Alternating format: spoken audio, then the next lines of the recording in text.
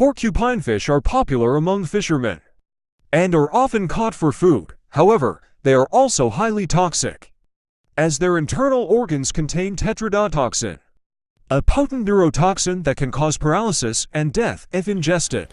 As a result, porcupine fish must be prepared by trained professionals who know how to remove the toxic organs and prepare the fish safely. However, because they require specialized care and can be difficult to handle, porcupine fish are not recommended for beginner aquarium keepers. Overall, porcupine fish are a fascinating and important part of the marine ecosystem in the Philippines and are valued for their food, their beauty, and their unique adaptations. Porcupine fish are commonly found in coral reefs and other shallow, tropical waters around the Philippines, particularly in the Visayas and Palawan regions.